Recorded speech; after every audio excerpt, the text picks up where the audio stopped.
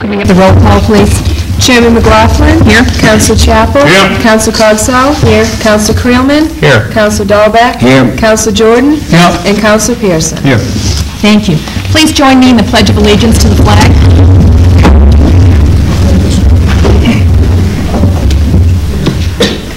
I pledge allegiance There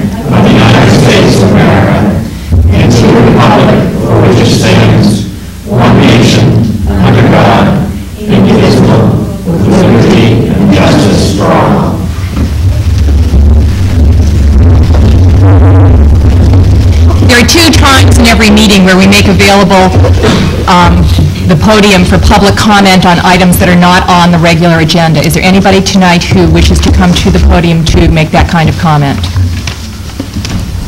Seeing none, we will proceed. We have a number of presentations this evening, and I will go down to the podium.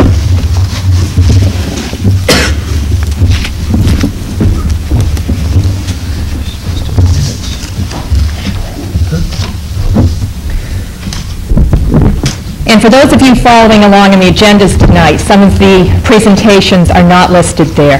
Some of these we'd like to keep a surprise, particularly the first one. Every year, this council presents an award to an outstanding citizen. And tonight, it is my honor to present the Ralph T. Gould Award for 1993. The award was established in 1986 and was named for Ralph Gould to recognize his community service and subsequently to recognize those who provide community service in the same spirit as Ralph Gould. Recipients since Mr. Gould have been Bill Orcutt, who has done much for the youth of this town, Judy Simons, a strong advocate for the arts and a school board member, Irv Chappell, for his service to the Boy Scouts and as Emergency Preparedness Director, Dick O'Donnell for his efforts on behalf of the elderly, and Henry Adams for numerous works on behalf of the town. The 1993 recipient is here with us this evening, a little unbeknowingly, and that recipient is Loretta Pond.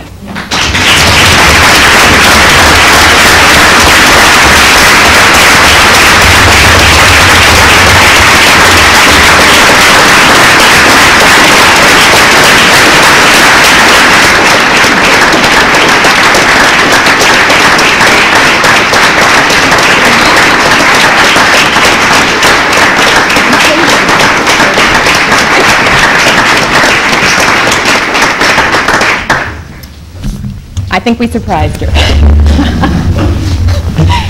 If you were surprised in a small town, we weren't sure that we could. I've got all this to read, so don't worry. And it's going to be very emotional for both of us. Bear with us, folks. Loretta moved to Cape Elizabeth in 1985. She immediately became, immediately became one of our school system's most valued volunteers. In two short years, she became president of the Middle School Parents Organization, treasurer of the High School Parents Forum, a member of the AIDS Steering Committee, a member of the School Improvement Plan Committee, and of the Alcohol and Substance Abuse Steering Committee. She was also a volunteer instructor in the Junior Great Books program. In 1987, she offered her services as a member of the school board and was elected to the first of two terms. As a member of the school board, she has sought community consensus on many issues. She helped to lead the board during periods of transition of administrators and as the career ladder evolved. She has always sought excellence from our teaching staff and from our students. She has welcomed parental involvement in the schools, and in the same spirit, she has continually volunteered herself on numerous board committees and in other capacities within her church and in the larger community. The word inspiration is often overused, misused, but if there is one word that captures Loretta Pond, I really believe it is that of inspiration. She has truly inspired all who have worked with her through her dedication, her strength of conviction, and with the energy she has devoted to our community. Personally, she's always been an inspiration to me, too. One secret that Loretta and I have, and I bet not many of them know that we both have daughters born on the very same day, right? And we sometimes share what it's like to parent those daughters, Erin and Kathy. Loretta will be leaving the school board next month, but she will surely continue to be a tremendous resource to our school system. Right one. So on behalf of the town council and the entire community, it was great pleasure and admiration that I give you Ralph T. Gould Award for 1993, presented to Loretta A. Pond for outstanding citizenship.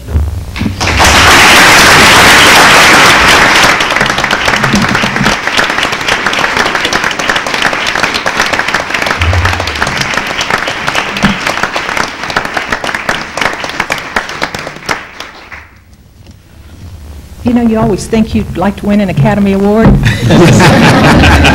This is my Academy Award, and I didn't even know I was nominated. That means a lot to me. I, uh, I never thought I would get anything like this because uh, I've always moved a lot. We- We've always joked about our family being sort of like uh, tenant farmers. You know, we sort of move on, come and go. And But eight years ago, when we got to Cape Elizabeth, things just were different the people were very open to new ideas and new people coming and, and offering their services and, and just right away, everybody uh, gave me an opportunity to serve the community. And so this is, I, I know this is uh, an award that is preceded by many very special people in this town, and uh, I'm, I'm really very touched and pleased that you would think of me this year.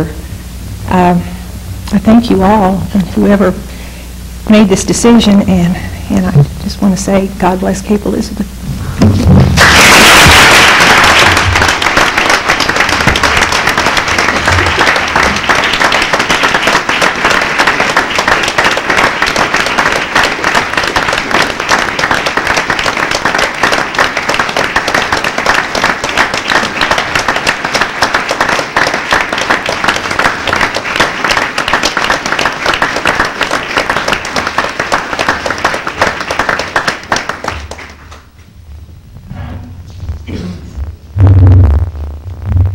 Do have a permanent display of the names of the Ralph T. Gould recipients. Loretta's name has been added to that and will go back up on the wall here in Town Hall.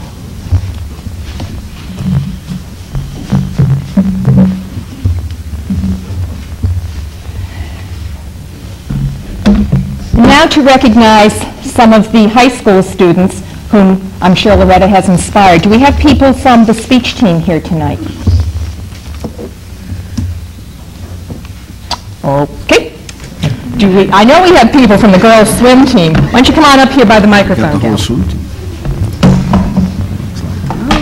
Yeah, over there. Look at that bunch of kids in the back of that.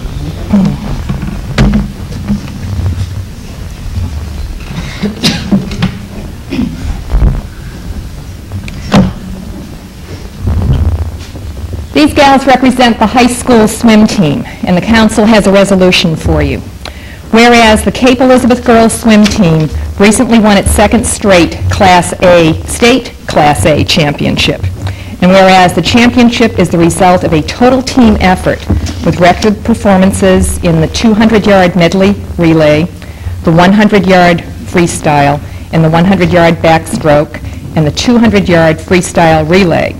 And whereas the team competes against schools of a larger size, and whereas the community of Cape Elizabeth is proud of the achievement of the members of the team, now therefore be it resolved by the Cape Elizabeth Town Council and Town Council assembled that we hereby congratulate the Cape Elizabeth Girls Swim Team on their second straight state crown, and which wish each of you, as well as and wish, wish each student well as they continue to swim competitively and as you continue your academic careers. Congratulations, girls.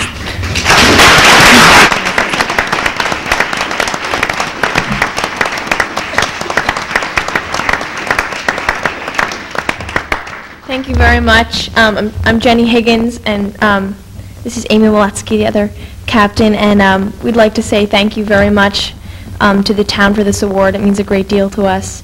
Um, I did want to put in a word for um, our coach, Mr. Bill Pullis, who has led us to these two um, consecutive state championships and who will not be with us next year, um, but he's gotten us where we are, and um, we thank him for that. And we'd like to thank Mr. Weatherby, who is the best athletic director in the state of Maine um, and a great guy to work with. And we'd like to thank um, the parents, and personally, I'd just like to to thank the team because they're the greatest bunch of girls I've ever worked with. So, thank you very much.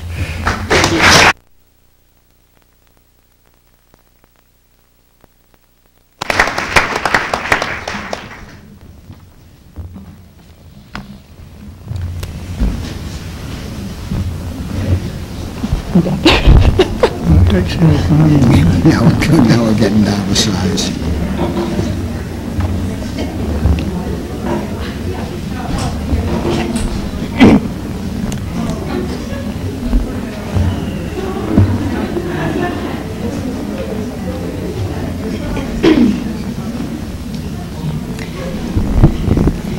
Is also traditional for this council to extend its thanks to those people who have served as chairman of our various boards and commissions. We have quite a few of those folks with us this evening. What I'm going to do is call you up, hopefully say some accurate things about what you've been doing, and Council Cogswell will help distribute the plaques that you get. We'll have you come up here, line up, and we'll save our applause till everybody is up here we're hoping to move things along. If I get going, we will. First of all, uh, Jack Bates, is he here tonight? Yes. Jack has been chairman of the Cable TV Committee. And we thank him especially for chairing during the renegotiations of our cable franchise. That was no small feat to accomplish, and we are very thankful for that.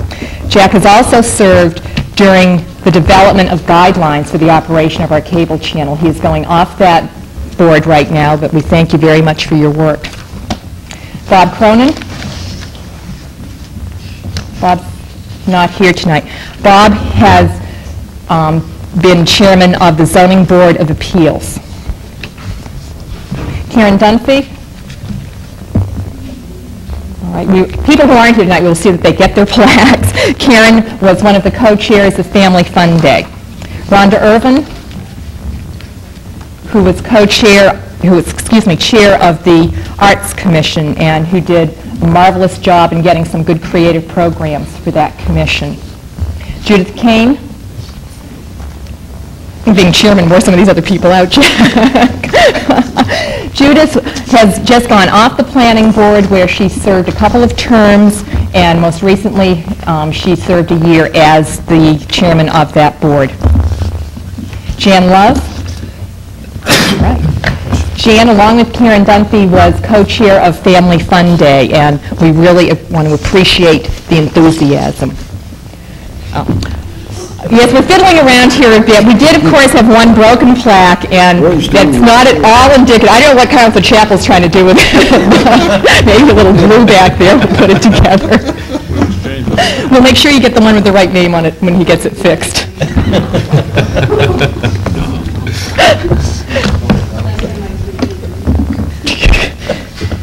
Family Fun Day really works better than we do with the flags. Nancy Miles? Great, Nancy's here.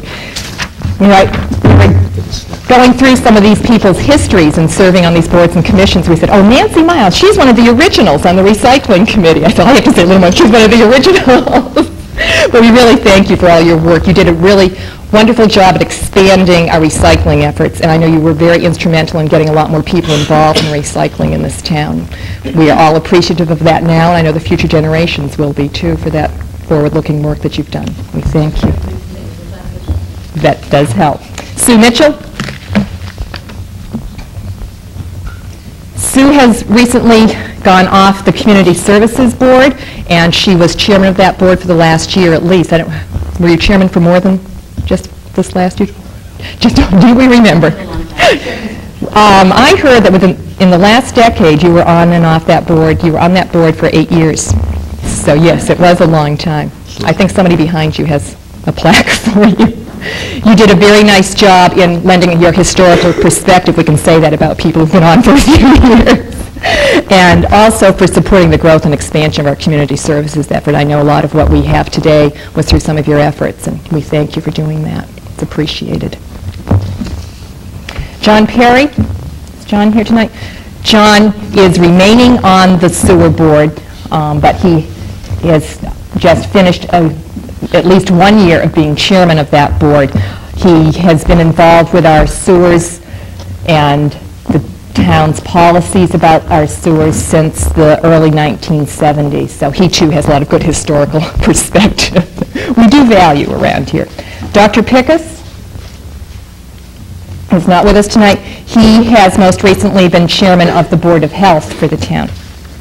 Jack Roberts does not miss an opportunity to be on television.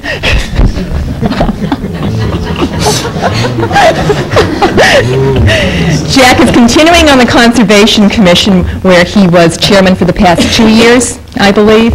And Jack, for any of you who know Jack, his enthusiasm and his energy have carried forward on that board. He very successfully led the commission through a transition period in its membership and was very instrumental in working on the estuary grant and in helping to develop a trail in the Great Pond area. Randall Weil?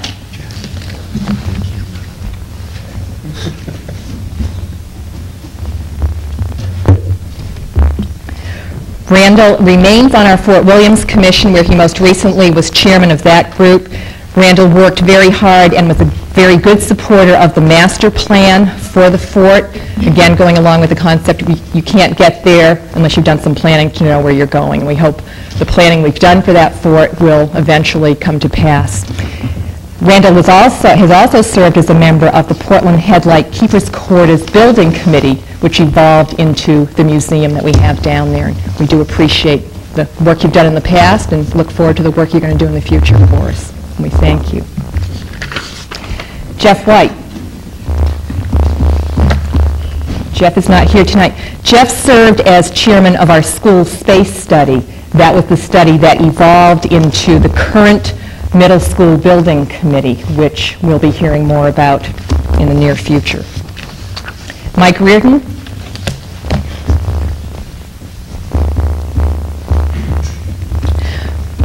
Mike has just finished a very difficult challenge, being that of serving as chairman of the Service Delivery Options Committee, also known as SDOC, um, to those who have dealt with it for quite a while.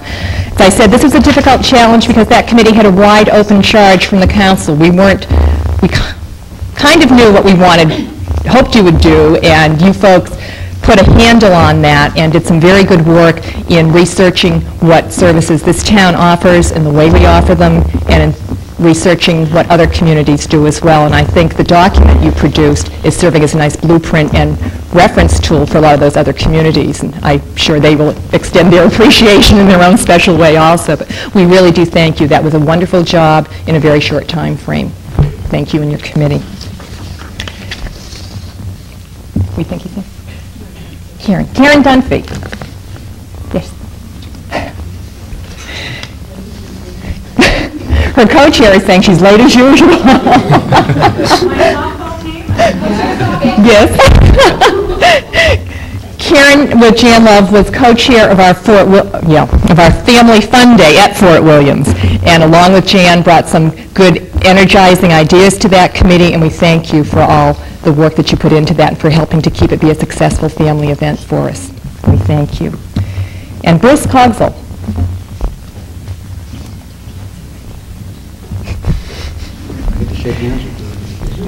I think you get a kiss. I guess we don't get official kisses, right? Come back and I'll give you one. Good for you, Bruce.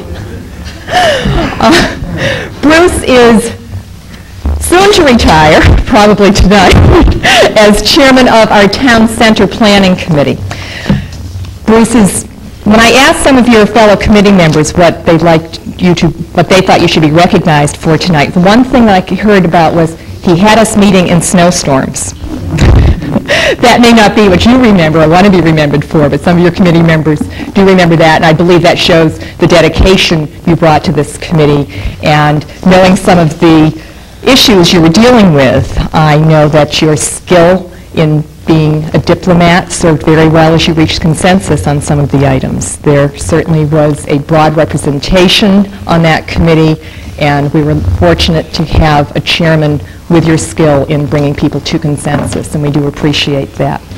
Um, I was also told that you um, showed your good decisiveness when that was warranted to move things along. And we thank you very much, the entire council, including your wife. Thanks. Ladies and gentlemen, our chairman who are retiring. Thank you.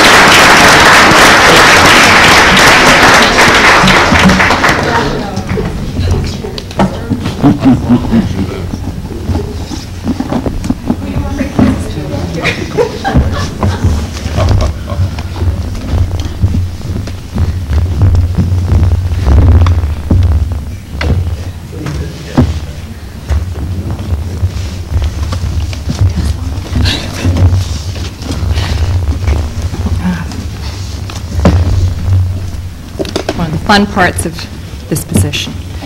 We now come to the time in the agenda where we have reports and correspondence from the counselors. Do we have any of those this evening? Madam Chairman, Counselor Chappell. the Regional Waste Systems, we met on April the 22nd and had a complete report on the Gorham project.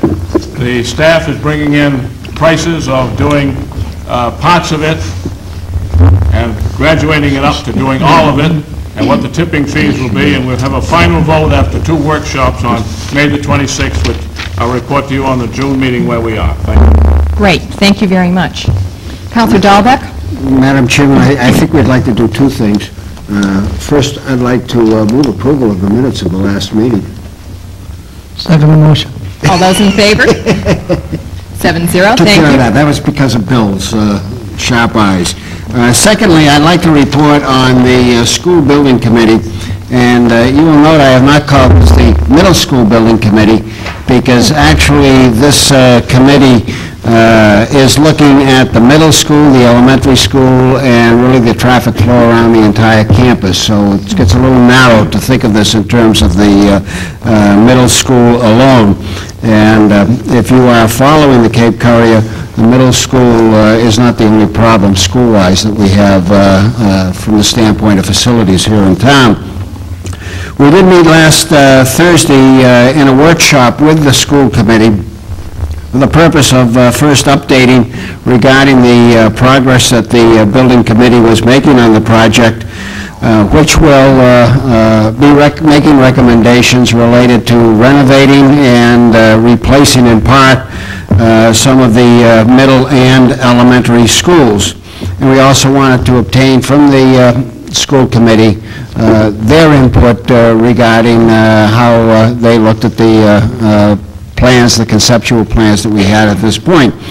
Um, Progress on this committee is excellent, and coverage is very excellent by the Cape Courier. Uh, I urge you uh, all, all citizens in the town, to uh, read the Courier and follow along, because they are devoting a lot of time and effort to what we are discussing on that committee. We do expect to go to referendum in November, which will be a very important referendum for the town. And as potential plans get uh, more refined, we'll- we will be holding uh, public hearings to get citizen input. And uh, I could go on and describe the plans per se, but I'd rather, I think, uh, plug uh, the uh, Cape Courier, because I think you'd get uh, a better overview idea of what we're doing, and I'm sure there'll be uh, good coverage, and not just the next issue, but subsequent issues. Please keep an eye on this subject. We are moving ahead. Thank you very much. Glad to have you and Counselor Jordan on that committee. Anybody else? Counselor Pearson? Counselor Creelman? You're very kind. Uh, I'd like to make mention this evening, um, with respect to another one of our citizens, um, Michael T. Simpson of Cape Elizabeth has recently been awarded uh, his Eagle Scout Badge This, as you know, is the highest rank in scouting, and he was awarded this uh, honor by Boy Scout Troop uh, Number 22. Uh, Mike is the son of Tom and Madeline uh, Simpson over on Macaulay Road. He's uh, been a member of Troop 22 for about three years now, uh, an honor student uh, at school here, uh, at the middle school, very much involved in basketball, skiing, and other outdoor activities. Uh, Mike's Eagle Service Project involved refinishing the fence surrounding the Holy Cross uh, Church. So I'm sure all on the council uh, share with me our congratulations of achieving this, uh, this fine award in scouting. As a second note, uh, wearing my hat now as chairman of the Appointments Committee, uh, we do have two openings at this particular time uh, among our uh, various uh, committees and boards of the town. The first is, an opening has occurred on the Recycling Committee. So any and all individuals who might have an interest in joining the Recycling Committee, please uh, call uh, Debbie Pizzo at Town Hall so we can have an opportunity to meet with you and uh, hopefully uh, return our committee to full strength. Secondly, uh, as a consequence of a recent uh, election uh, victory, uh, we congratulate uh, Jean Gin-Marvin, who will be joining us uh, next month uh, on our town council. Jean has been serving on the Conservation Commission, and due to appropriate bylaws and rules in Cape Elizabeth, she uh, can't wear too many hats at the same time, so she will have to be resigning from the Conservation Commission, and uh, we will need to be uh, replacing her. So, uh, again, should any uh, citizen uh, here tonight or listening to this issue have an interest in joining the Conservation Commission, please, again, contact Debbie Pizzo at Town Hall, and we will hopefully um, interview you and bring that particular uh, committee up to full speed. Thank you. Thank you. Counselor Pearson? Yes, I, uh, when I ran for this seat three years ago, I uh, did both of my uh, platforms that year and the previous year in 87 in rhyme. And I made a promise, only one campaign promise, that I would never present a motion in rhyme. Uh, And Jane's here, uh, Jane Amaro, and she kind of laughed when I, when I did my second one. Uh, But I spent the last few weeks contemplating uh, the past three years and relating to my original ideas when I chose to run, and compare the reality just for fun. Actually, I must go back to 1987, when I first ran, one of seven. There were three seats open that time, so I wrote my first platform in rhyme. It was a grueling fight, and I must admit, I didn't really have my heart in it. When the dust had settled, there were three elected. I wasn't one, but I didn't feel rejected. Heck, I was new in town and I was from away. Since I didn't finish dead last, I thought I'd stay. Involved with town government any way I could, as I felt any good citizen should. Lo and behold, it wasn't more than a week that I was appointed to a board I didn't seek. The wonderful Board of Sewer Appeals. Where it was felt I could learn how it feels. To see how local government works, at least where it goes. I learned a lot about infiltration, treatment, and capacity flows. Soon it was 1990, and once again I ran. I painted all my signs and said, "I'll give it all I can." But there was no competition for the seat. It's tough to give it all if there's no one you can defeat. I've often thought about it each time in election year and wondered why. It didn't seem to make a perfect rhyme. Why weren't there more running? Was it the economy or something more? Seven candidates for three seats a couple of years before, and this year, five ran for two seats. Why? Be that as it may, I could go all on, on all night, but there's too much on the agenda, so I'll cut it short and keep it light. I've enjoyed serving, and I appreciate all the Cape residents for their support and giving me the chance, and I hope that I served you well. So without further ado, for putting up with my crazy thoughts, sometimes crazy thoughts, I thank Debbie and Michael, the town council, and the town staff and employees, and I really do thank you. And finally, to my family, for their support and understanding, my continued love and thankfulness in public, I send to you. Thank you.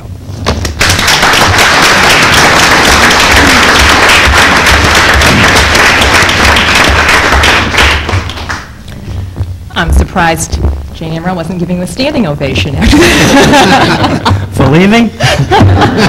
no. For the poetry, sir. we do appreciate your three years with us, Carl, very much. You have brought a good entrepreneurial perspective to council deliberations. There are times we appreciated it more than others. Um, I think it's also important for people to be aware of how supportive you were of the committee that Michael Reardon chaired, the Service Delivery Options Committee, and I think you have, you helped move us in that direction, and I hope you're as appreciative as the rest of us, and I know you are, of the recommendations that came out of that committee. I know a lot of them followed your own ideas, and some ideas of yours that didn't get in there, but some very good ones were, you know, echoed by that committee. You continually expressed concern of, that we spend our money wisely. That is something that all counselors have to do. You've done that very well, and I I personally commend you for that, and I thank you, and I know the rest of the council supports me in that also. Um, People tonight have had a wonderful example of your thespian talents and your wit. Those of us who've served with you on the council have had more than just tonight to appreciate those talents. We also have been very appreciative of the sustenance you have given us, creative sustenance and the sweets that have been appreciated. He would sometimes come laden down with candy to get us through some long workshops, and it did help, right? You want to throw some Tootsie Rolls, you'll know you're in Carl's company.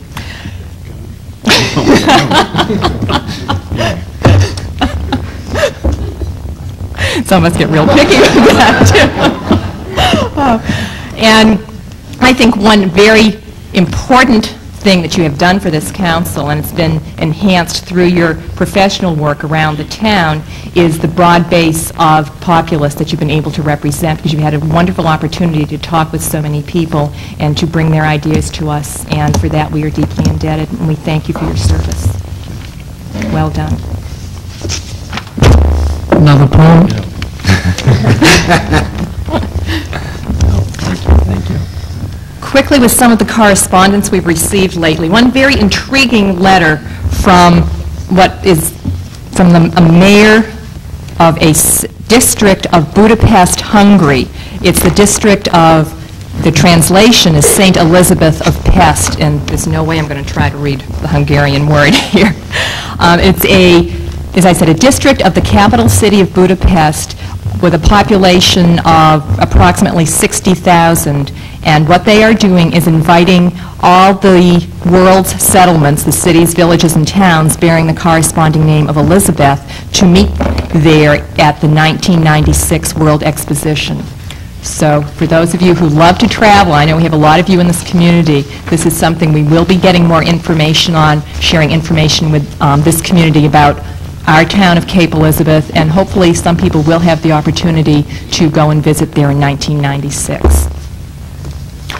We have an invitation from somebody we gave a plaque to earlier this evening, Jack Roberts from the Conservation Commission. As I mentioned, Jack wa- is very, very hard worker in working on the Great Pond Trail, and Saturday, May 22nd, 9 a.m., there is a pretty open invitation. He said the town council, I want to open it to everybody else, know how many councilors can show up that day, um, to be down at the trail to help do some of the work down there. And the re- request is that you bring boots, gloves, and a hammer. So they're serious about that business. We do have a notice from Jerry Daigle, our assessor, um, concerning the revaluation program, that it's going to be shifting they're going to be shifting their inspections over to Route 77, beginning at Dave Carley Road and moving north towards the South Portland line. They'll also be getting very quickly over to Spurwink Avenue and the Pleasant Avenue area. On April 21st, I attended the Executive Committee of the Greater Portland Council of Governments. We had presentations on um, community development block grant applications. We also received a copy of the Executive Director's Report, which I hope all counselors have received recently in the mail. The COG annual meeting and dinner has been set for Thursday, June 24th. I know we have people who are members of General Assembly, and I hope a number of you will be able to come to the dinner that evening as well. Okay. Super.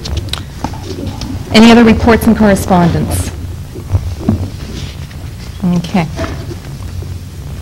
Item number 143, the first item on our agenda tonight, is to consider naming the town-owned family field on Shore Road, Plaisted Park, in honor of Harris Plaisted, the founder of Cape Elizabeth Little League, and take any necessary action. And we do have a letter from Dan Fisher, who is currently president of the Cape Little League, um, recounting that Cape Elizabeth Little League enjoys a long and proud history. Harris Plaisted was a large part of this tradition. He not only was the founder of Cape Little League, but he was the founder of Little League in the state of Maine. He developed Family Field, and because of his significant contribution to Cape Elizabeth and to Little League, we would like to have the name changed to Plaisted Park. Could I have a motion, please? So moved, Mr. Second. All those in favor? Seven zero. Thank you. And in in anticipation of this evening's vote, at opening day ceremonies on Saturday, May 1st, Mr. Plaisted and some of his family members were present, and it was announced that there was an impending council vote to, in fact, name it Plaisted Park. And again, it was fun to surprise somebody and have him feel so honored in the renaming of that field. We have a number of public hearings listed this evening, all relating to the various budgets that we will consider taking adoption on this evening. They are the general fund budget, sewer fund budget, the Riverside Cemetery fund budget, the Spurwink Church fund budget, and the Museum at Portland Head Light budget. What I would like to do is to have a public hearing on all of those budgets, and then we will take action singly. Is there anybody who would like to come to the podium and address the council on any of the above-mentioned budgets?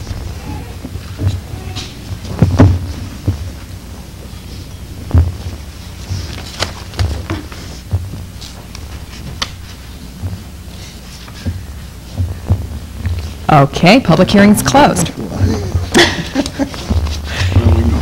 Henry, you disappointed me.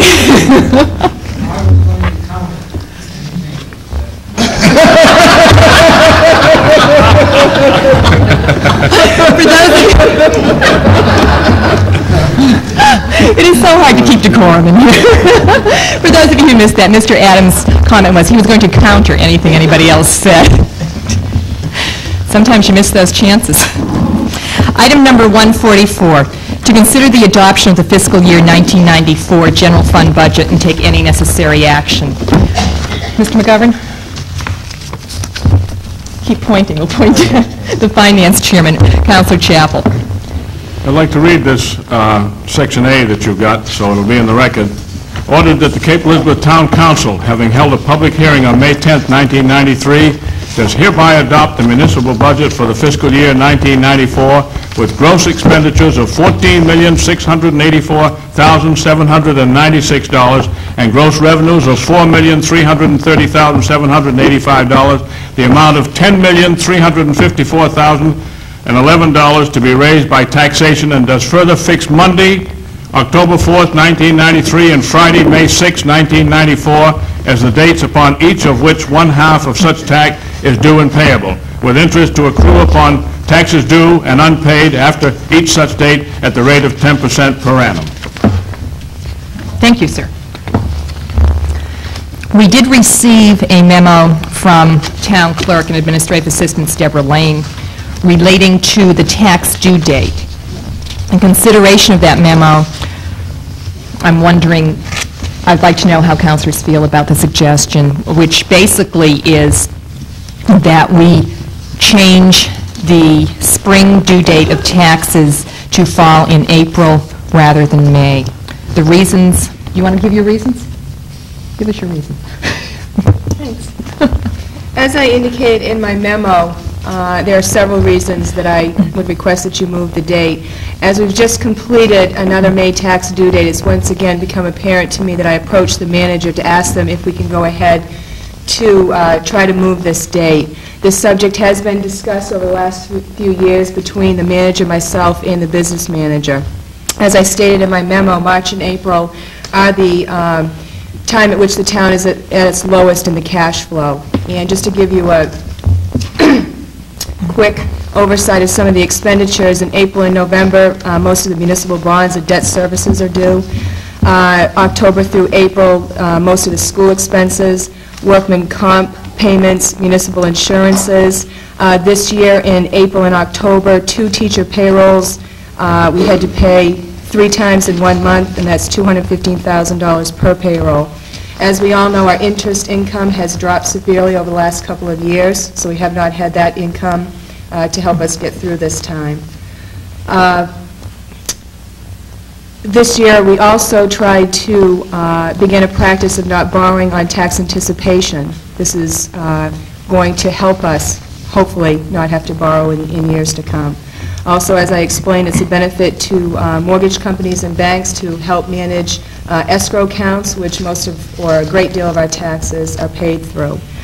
Uh, Beyond that, um, I believe this is good business practice for the town, and I think uh, it does benefit the town as well as the citizens.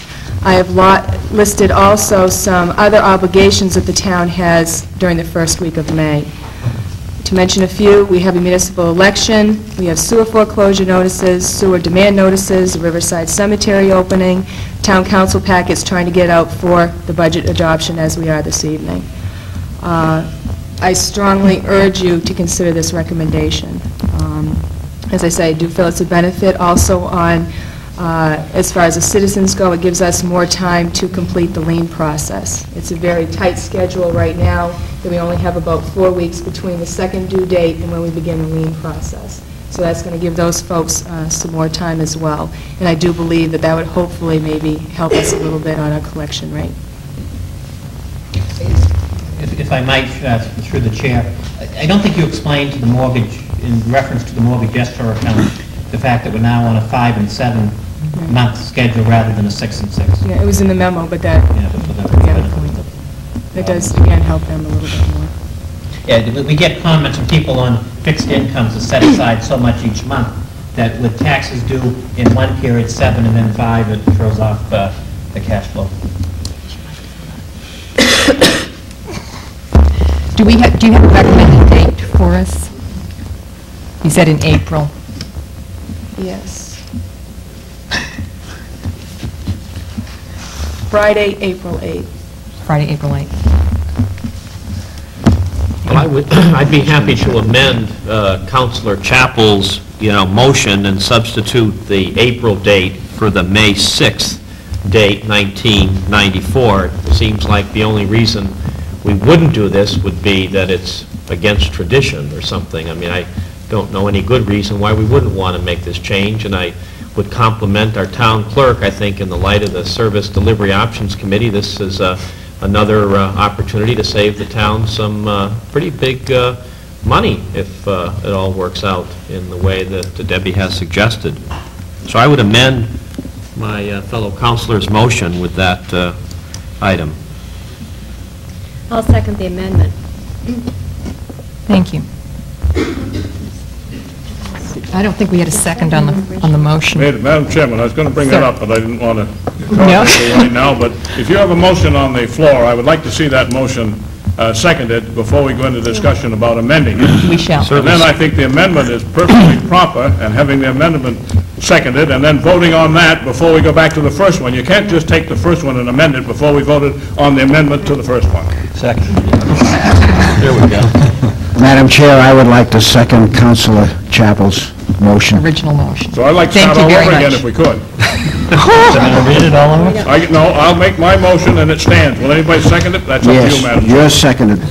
You are Now. seconded, sir. Now your amendment, Mr. uh, Councilor Creelman. Now we have an amendment offered, and that has been seconded. Okay. And I appreciate your attention to Robert's rules. Thank you, sir. Could we have discussion on the amendment, please?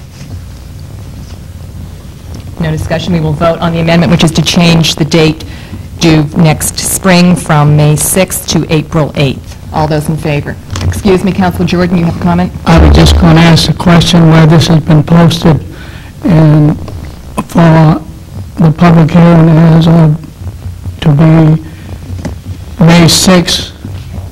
Do we, is there any problem in adopting it without being posted again? In, in the public hearing notice, we, we do not advertise the, the due dates. We, we do it on the basis of uh, the budget in the public hearing. You do it on the basis of the full budget? Okay, thank you. Thank you, Counselor.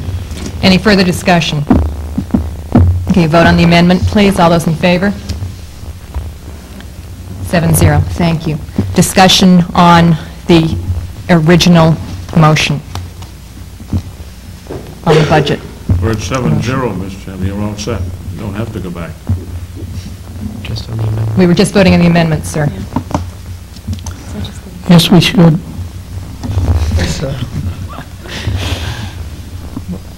I'm glad they don't have copies I- of Robert's rules to throw back. We do we do have, we will take a vote on the original motion as amended. I I want to know... have one, I have one question to uh, Finance Chairman, which done such a tremendous job in putting this budget together. What does this budget represent as an increase in our taxes? I will refer that question to the town manager. 58 cents, sir. It's at uh, a little over 3%, 3.39. 3.27 3.39%. Thank you. I wanted to get that out. Are we squared away with No, that? we're squared away. Some of the others may not be, but we're all right. We're squared away, we're up to date.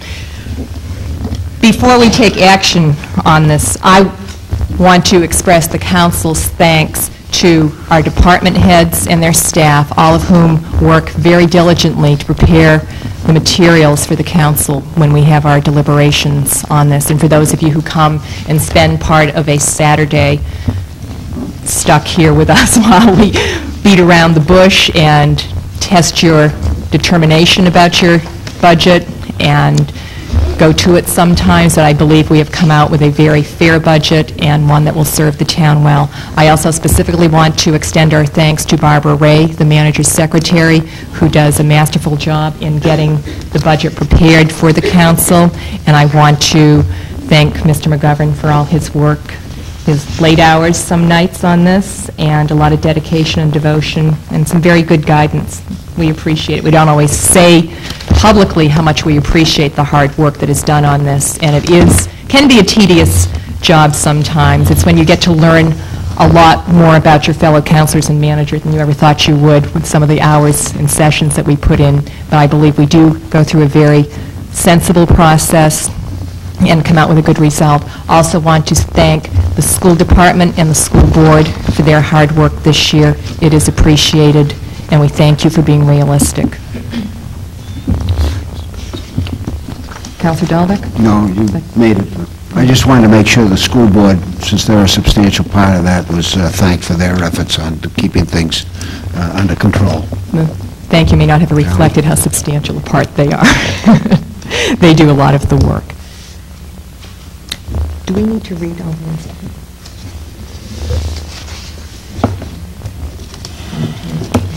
Just make sure the council knows the budget. Okay.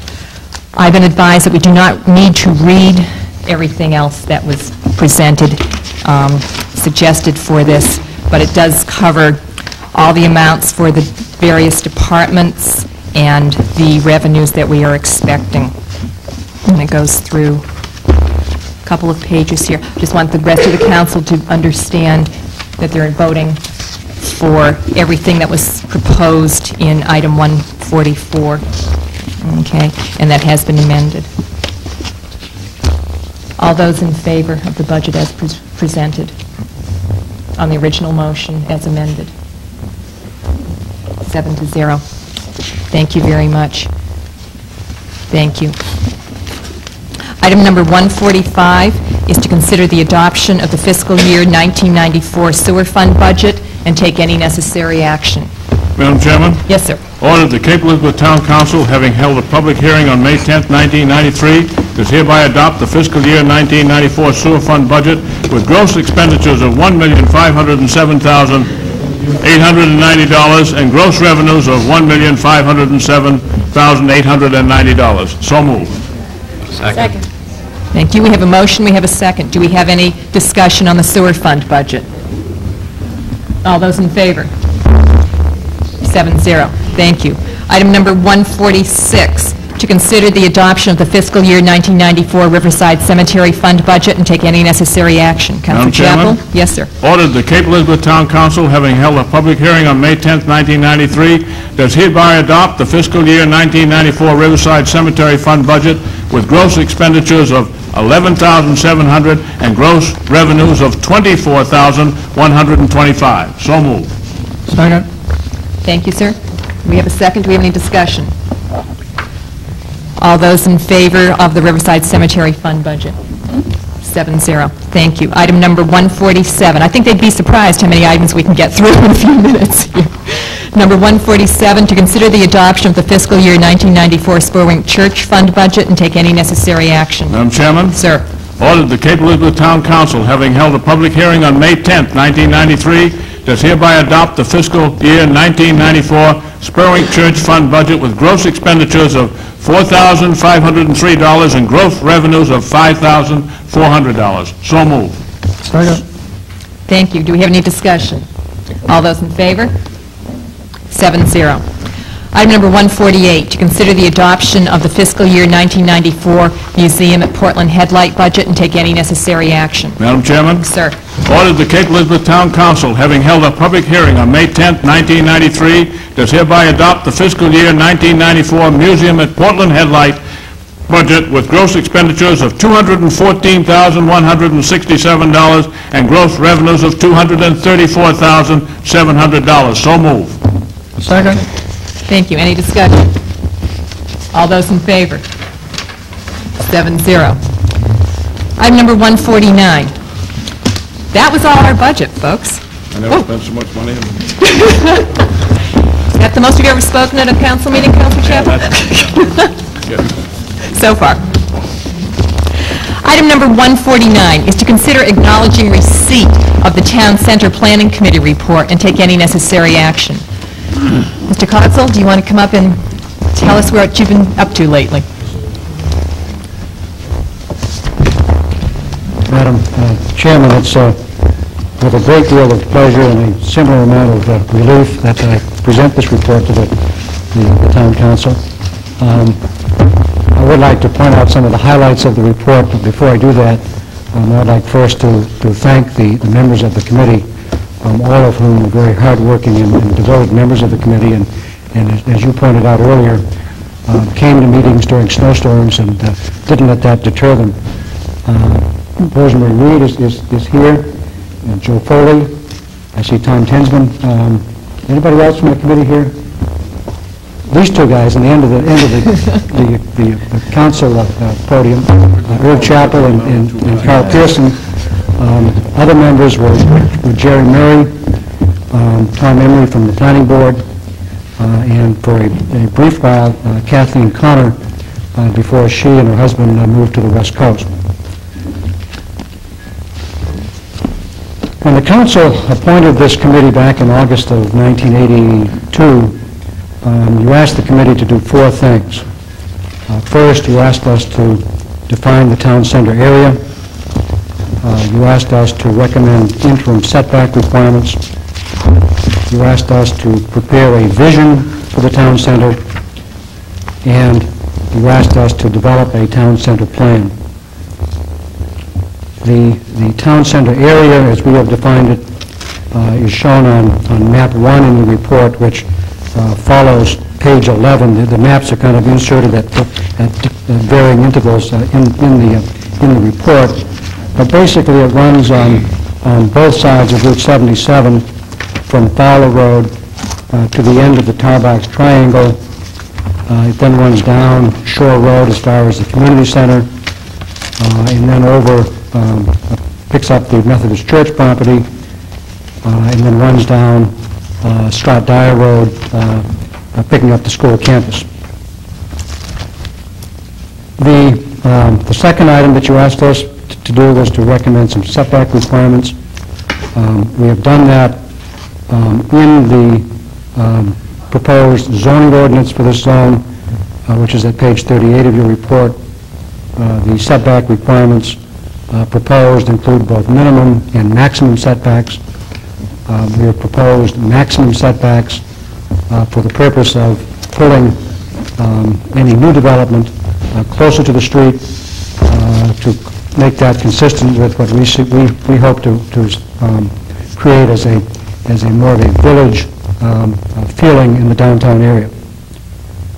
Uh, We've created a vision, and the vision is stated uh, in the report. Um, There are four essential elements of that vision.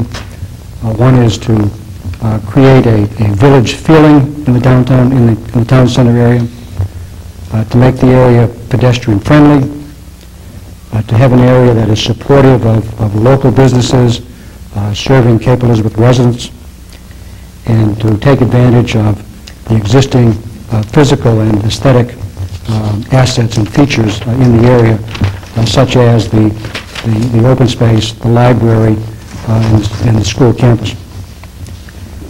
The most controversial part, I think, of the of the report, at least that I've heard, is is the plan itself. One thing that I want to make clear to the council and to and to others that review this report, the plan is not set forth in any of the drawings, or in any, any series of the drawings. The plan itself is made up of the vision that I just described, and the numerous recommendations that the, that the committee has, has has made to the council. Those recommendations are, uh, start out on page three. The plan is not a detailed design uh, for the town center or a detailed plan for construction of a town center, but is rather a, a, a bunch of ideas which are, which are illustrated uh, in a number of drawings. The plan is, is concepts and ideas which we would like to see incorporated uh, into the town. The drawings that are included in this report, and one of them was prominently featured on the front page of the Courier, that drawing um, is not a proposal for a specific implementation of the ideas uh, of this committee, but is merely illustrations of the types of things that we would like to see uh, in the town center. Uh, For example, if you look at the recommendations, um, number number 13 uh, in the- the list of recommendations uh, is that something be done about the Scott Dyer uh, Route 77 Shore Road intersection.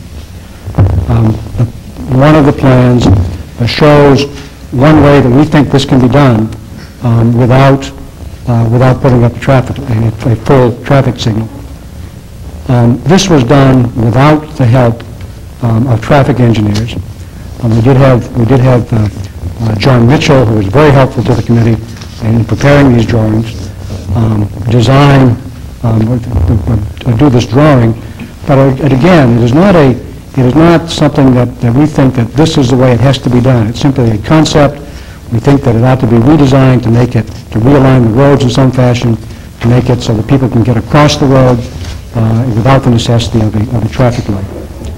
Uh, Recommendation number 14, uh, we recommended that that sidewalks uh, be placed throughout the town center area to make it uh, easier for people to walk around. We have, we've we've had the, we've had the, uh, had John Mitchell uh, draw some sketches of sidewalks. Um, Again, uh, these are not, these are not specific recommendations as to, as to where the sidewalks ought to go, where the lights ought to go. But again, uh, the the drawings are illustrations of our ideas, and the ideas are what what form the town center plan. Um, Number 20, recommendation number 20, um, is that we reduce the speed along Route 77. Um, Again, to make it uh, more conducive to pedestrian uh, traffic and to make it uh, more, um, a better, a better uh, uh, area for small local businesses. Um, We've shown, we've shown a a couple of different ways that that might be done. Uh, One is to put a great, a large green in the middle of Route 77 in front of the the shopping center. One is to put a small island there. Um, I'm sure there are others. Uh, We've suggested that perhaps there be, there be some, some some crosswalks, uh, and that uh, people be required to yield to pedestrians. Uh, Recommendation number 28, uh, that is the recommendation that we have a town green. Um, Again, there isn't a specific location or a specific design of a town green, but simply that the town green be located somewhere between here and the shopping center, uh, either on the other side of the road or on this side of the road. Uh, you know, It could be next to the, it could be next to the uh, the town hall, it could be across from the town hall, it could be in the area that was shown in one of the drawings. Um, uh, But the- in- uh, without without going into into more more more detail on these on these particular recommendations, I just want to emphasize that the that the plan is not the drawings that you've seen, but the the vision for the town and the and the and the recommendations that have been made uh, to accomplish that vision. Um, One of the recommendations is that an implementation committee be appointed uh, to follow up on these recommendations, uh, to to work on more specific ways of implementing uh, the recommendations that have been made. Um, We would hope that the that the committee, that the council um, would accept the committee's report, um, that it would put the machinery in motion for um, adopting the zoning changes that we recommended, uh, that it would accept the vision uh, as the vision for the, for the town, for its town center, and that uh, it would, in some fashion, uh, make the report and the recommendations uh, part of the comprehensive plan for the town, so that as, as development occurs, as planning is done uh, for the town center area, uh, that these ideas are incorporated into whatever is done. Um, One of the things we have in mind, for example, uh, is we know that, we- we're hopeful that sidewalks can be built. Um, They're not all, all going to be built at once, but if somebody has a new development proposal for the town center area, uh, in an area where sidewalks might otherwise go, um, we might put into the, into the approval process that they've got to pay for the sidewalks. And as has been done, I know in South Portland, uh, where sidewalks are planned and they're not ready to go in, uh, the, the- part of the uh, development process, approval process, they require the developer to pay into a fund the monies for the sidewalks at a later date. Um, Unless we have this type of thing um, as part of our, our future plan, uh, that isn't going to get done. And so, as I, as I said, I would hope that the, that the plan is accepted, that the vision is accepted, and that the, the report uh, and the recommendations of the report um, become part of the comprehensive plan for this town. Uh, That's all I have uh, prepared to say um, um, about the report tonight. I'd be happy to answer any questions. Um, Terrific, thank you. We will be looking at a public hearing on this, most likely next month, and I certainly hope that you can be present at that time and would encourage your other committee members to be in the audience that evening also to help answer questions that may be posed by the public. I thought when I got my award from my wife tonight, I was being excused from further service. It's not till Irv kisses you that you're out. I've been here for a long time. It worked. Do we have any questions from councilors this evening for Mr. Cogswell? Councilor Chappell, Can I give you a motion at this time, saying you haven't any questions? go for it. Order of the Cape Elizabeth Town Council does hereby acknowledge receipt of the report of the Town Center Study Committee, and we express our deep appreciation for the work of the committee and of Maureen O'Meara, Town Planner, and we set a public hearing on the plan for Monday, June 14, 1993, 7:30 PM at the Town Hall. So moved. Second motion. Councilor Jordan. I would just like to personally thank Bruce and his committee for the work they have done, and I think it's a tremendous plan, even though I don't agree with it all. I'm too old-fashioned to agree with some of those things you get in there. Thank you. Thank you, sir. Councilor Pearson. I I also wanted to thank Bruce and the rest of the committee members for uh, a lot of hard work and and work well done, and also for Maureen for all her endless hours of revisions and dealing with us, and many thanks to John Mitchell for his work on the uh, the drawings, which I know frustrated the heck out of him with uh, with this committee, Uh, and they did exceptional work. Uh, And to to relieve Council Jordan of some of his fears, once again, this is just a a wonderful vision, and I think that uh, and I'll- I'm going to plan on attending the uh, public hearing next month, uh, not from this side, but from the other side. Uh, However, I would encourage anyone watching to, once again, as Bruce has stated, it's a plan, it's a vision, no monies are dedicated to it, and the biggest reason for getting the plan is if some things are being done by the private sector, commercial sector, perhaps they can incorporate in their plan some of these that will not have an effect on the taxpayer but will be done through the commercial sector. Thank you. Thank you very much. Councilor Dahlbeck? I would also uh, like to uh, thank the uh, committee and uh, thank Bruce and Carl uh, with his uh, add-on for putting it into uh, perspective and and uh, taking it out of of uh, what I think some people were looking at as as something that they just had to attack this point and that point. And I I think uh, that was very good, and I appreciate it. I would like to suggest that uh, after uh, uh, we do have a public hearing at some time, that the uh, council should consider maybe a workshop. Uh, There's an awful lot in this that I don't think we can just, you know, casually flip away or throw to a committee without thinking of of what the specific charge might or might not be. And I just think we we need uh, uh, some more discussion, and the workshop probably including a lot of the uh, folks in the uh, uh, Town Center Committee. Very wise suggestion. I think that's the course we will indeed follow. Do we have other comments? Sir? I just have a brief one. Uh, This is a copy of the report, and uh, it is available for public inspection if anyone would like to see it in the Thomas Memorial Library in the Town Hall. If anyone would like their personal copy of the report, it is available at cost, which is $12 uh, here in the town office.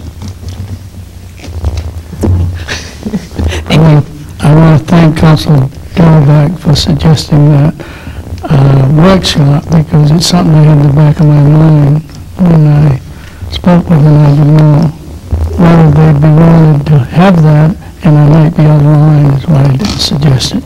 I don't know enough to know whether I'd be out of line, so I wasn't afraid to say it. We have a motion, we have a second. Is there further discussion? All those in favor? Seven zero. Thank you.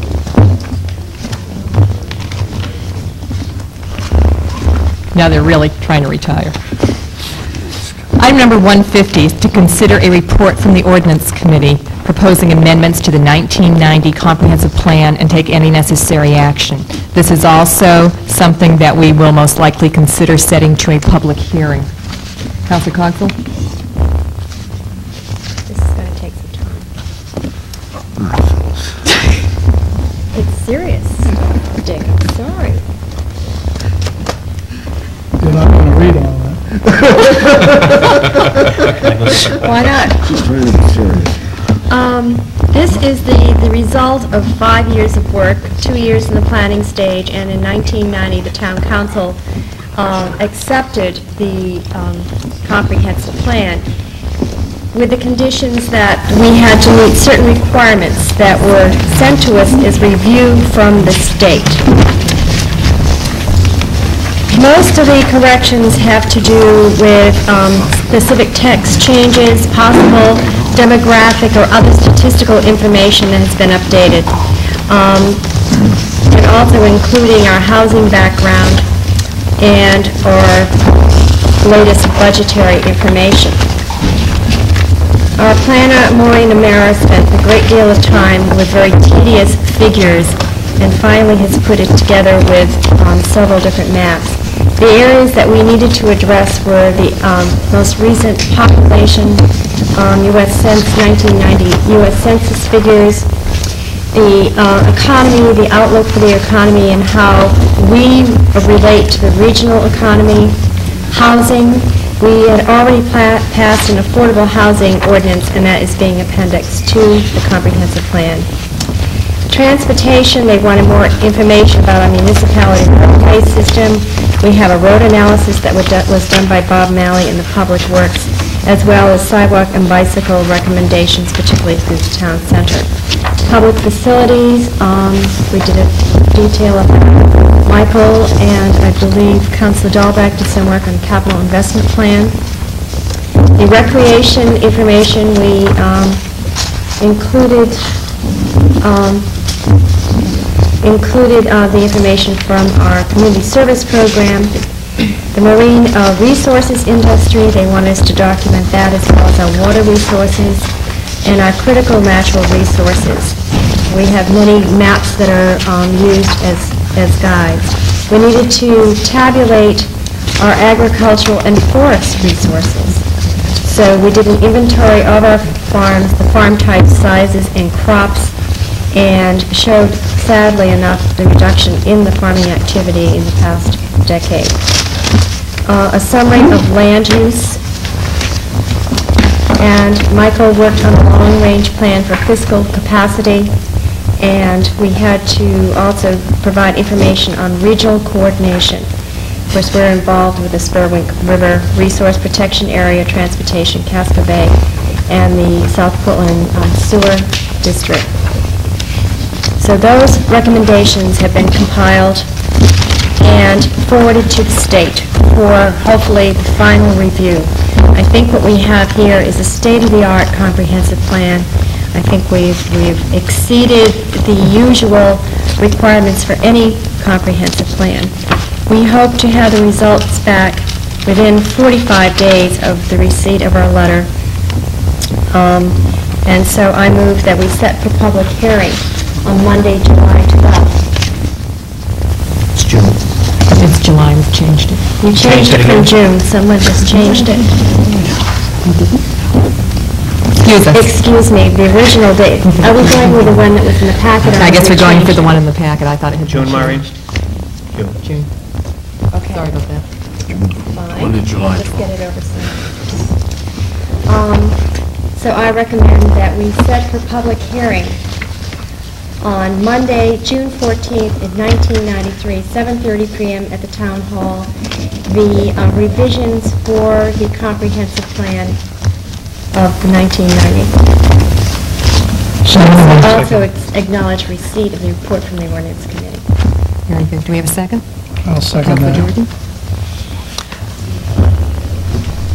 Any comments? Councilor Dahlbeck? As the newest person on the street, I would just like to give my opinion that that is one impressive document, that comprehensive plan. So I look forward to the public hearing. Very good. I would like to thank our town planner for all her work. I know this is a tedious kind of document to work on, and job well done. Thank you. Do You have some comments? Well, If you're going to talk, you have to come up there. Sorry. I just want to make sure the public knows that, that copies of this document are available in Thomas Memorial Library and at the Town Hall if they want to review the document and the changes that have been made. Very good. Do we have any available for sale at this time? No, we do not. Are we can- like... We can, we can make some available if it's the desire of the council. Um, At the time we printed this, we printed up only enough for submission to the state and review by the council, um, with the expectation that uh, if approved by the council, we would then have a major printing that would be available to the public. But the council would, would like to have copies printed now, that can be done. I think it would be fine for people to look at the copies that are available at the, there at the library and at Town Hall? Yes. Is that correct? And at COG, if somebody's And at COG, that's in right. Portland vicinity? Very good, thank you very much. Further discussion? All those in favor of the motion? Seven zero. Thank you. Job well done, folks, the ordinance committee. We thank you also for your perseverance. It was perseverance, the, um, the staff did the major part of the work. Very good. Item number 151 is to consider a report from the Ordinance Committee proposing amendments to the subdivision ordinance relating to road standards and take any necessary action. Councilor Cogswell? This is another multi-page document, uh, which seems to be in favor these days. It's the result of two years of work uh, by the planning board. Originally, the planning board uh, and the um, code enforcement officer made recommendations to the council that certain roads be reclassified. Since the uh, planning board, in its review of um, the street standards, were very concerned that we were cutting great swaths by our, our then existing and present standards that created these great swaths for small roads. And an interesting, um, outstanding example is in Stonegate, uh, some of the major roads, is an idea of development. The other was Fickett Street, the new road there, where they cut down a lot of the old growth trees, and we just have this sort of a super highway effect. So the town council uh, forwarded to the planning board um, the recommendations that certain streets be um, reclassified.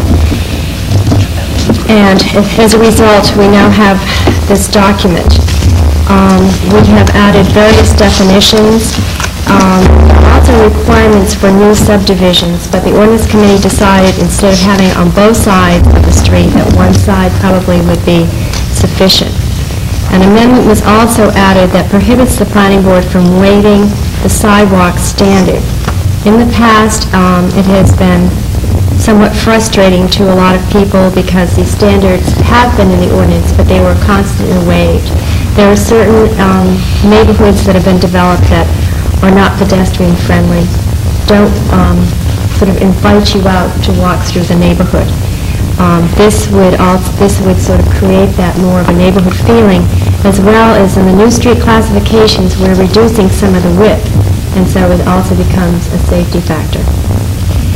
The committee also uh, recommends that we send to the planning board um, a reminder that the under drainage, which is preferred for public roads, and that the planning board should be very careful about waiving um, this under drainage, under under drainage standard.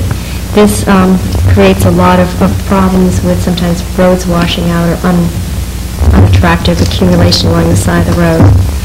The training uh, radius standard that is in the new ordinance uh, provides access for the new ladder truck uh, as incorporated in section 1632 sub 4.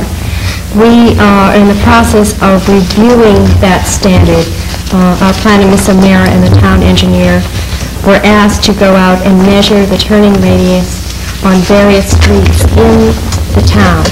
We had no way of conceptualizing the template that is here in the proposed changes and how it really would transfer to an actual road. We will be requiring turning radius that is far uh, proportioned to particular road. So we're going to be meeting um, for those recommendations, and we will forward those to you later. But at the moment, we'd like you to consider the one that was presented in the packet. Um, We also may want to um, adopt amendments which would follow up on the action listed below. All the references to street are going to be changed to road. We thought that was a more appropriate term for our town. New road cross-sections, including teardrop cul-de-sac design reflecting the new standards will be drawn by the town engineer for inclusion in the subdivision ordinance. A street tree species and minimum size list would need to be developed, and probably the tree warden, in conjunction with the planning board, would develop this and also have it as appendix to the subdivision ordinance. Private roads in subdivisions uh, will now be required um, to have specific construction standards, and private roads are now being defined. There is a new table which simplifies finding the requirements for the different roads in the different categories. And a major change was that the town council would now be the authority to change the road classification standards. And in the usual practice of the town council, they they would, I'm sure, get input from the planning board and the other professionals involved. Um, From the previous information, let's see, uh, we have new road terms, one of which is called the rural connector, which is a uh, street that's going to handle trips in different parts of town where a vegetative buffer is required to be um, maintained. Vegetative buffers in the past, um, when they've been um, approved, have been approved as part of the subdivision. In other words, they belong to that particular neighborhood and to the private property owners. Uh, Oftentimes, these have been destroyed. Um, An example of that would be Cape Woods, where the whole vegetative buffer between Mitchell Road and Cape Woods is no longer there. We don't want that to happen in the future. Um, Those are the major changes. Are there any other comments that the planning would like to include? We are including also the concept of an esplanade, which is a a treed or grassed area between a sidewalk and a highway to give you more of that, that um, rural character that we, we all feel is so important. The streets which are being reclassified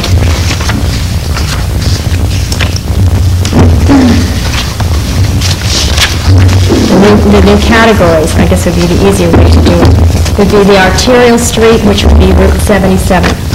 We presently have, I believe it's three arterials. We're just reducing it down to one. Collector Street, Mitchell Road, Scott Dyer Road, and Shore Road.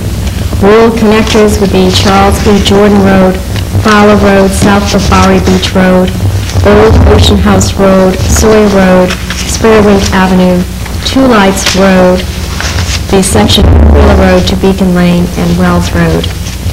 Feeder streets would be Broad Cove Road, Cottage Farms Road, Eastman Road, Fessenden Road, Fowler Road from Ocean House Road to Bowery Beach Road, Hillway, Oakhurst Road, Preble Street, and Woodland Road. Local streets would be all the other public roads. Um, The recommendation from the code enforcement officer for changing the category for um, certain roads would, um, the roads were originally classified in an earlier time as being um, through roads or connector roads for further development behind the particular neighborhoods.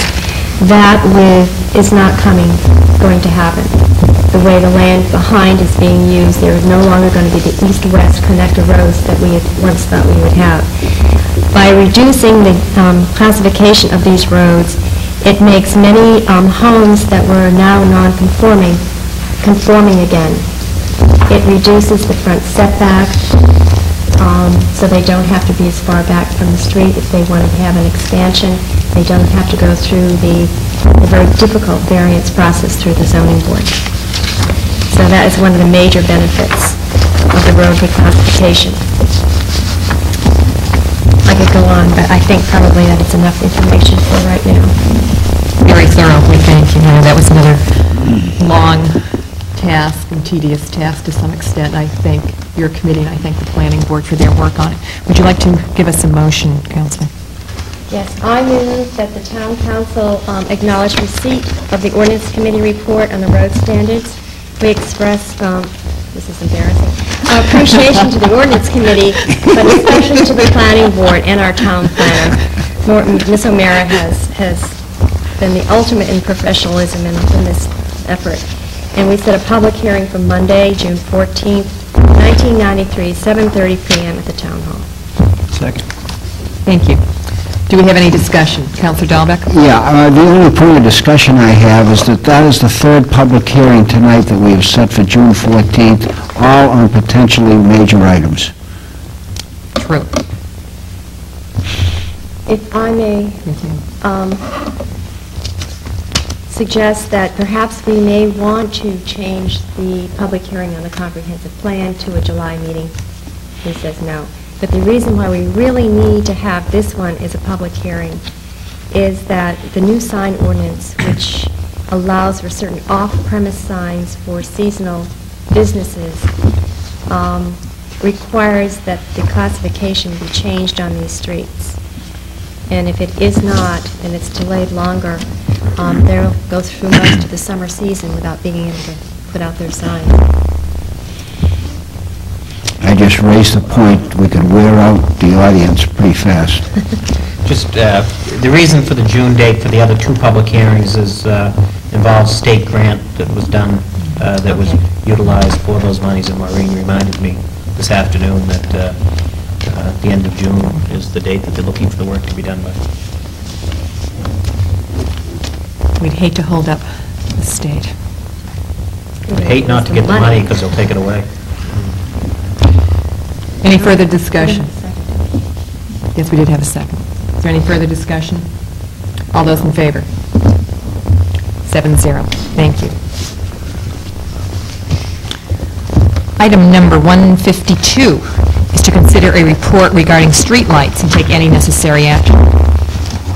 Yes, uh, the chief of police has, uh, for actually a number of years now, uh, been reviewing and uh, uh, streetlight policies. Uh, He is the one that, uh, as as folks call, are interested in streetlights, he does respond to the concerns and goes out and and takes a look at lights. Uh, In response to uh, requests from the Service Delivery Option Committee, uh, he went out recently and evaluated those lights uh, which do not currently meet the current criteria uh, for streetlights. Uh, He identified 68 uh, lights. I went out with him, looked at the uh, lights as well, and concur- concurred uh, with him on that. Uh, There is a little bit of play in a few of these lights, uh, and uh, what I'd suggest is uh, that we have a public hearing uh, in July uh, on uh, the the streetlight issue, and that uh, perhaps uh, if the courier is not willing to publicize those lights to be removed, we could purchase an ad uh, indicating those lights. Uh, But uh, I really wish to express appreciation to the chief. Uh, It's, uh, taking on streetlights is not always the most popular uh, issue to do in town, and uh, I think he's been uh, very professional and very thorough in uh, reviewing these lights, and wish to thank him. Chief Pickering, do you want to come up and make any comments? Nope. Not till July.